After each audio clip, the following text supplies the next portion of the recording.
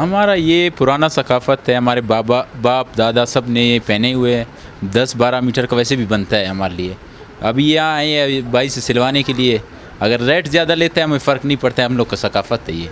अब्दुल शकूर, हम लोग वैसे यहाँ, हम लोग का बलूची रस्म रिवाज है। यहाँ अक्सर लोग तकरीबन आठ से दस मीटर का बनाता है।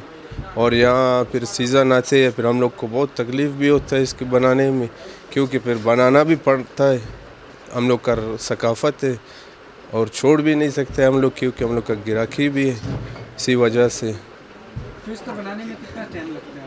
तकरीबन वैसे दो से तीन घंटे एक जोड़े में लगता है और अगर बड़ा शलवार हम लोग बनाएँ चार घंटे तकरीबन लग जाते हैं। जी। तो इसका कीमत क्या है? कीमत क्या साफ़ वही है या इसकी कीमत में भी कुछ फ़र्क है? नहीं कुछ फ़र्क है और तकरीबन पचास सौ रुपये ज़्यादा हम लोग को देते हैं इसके।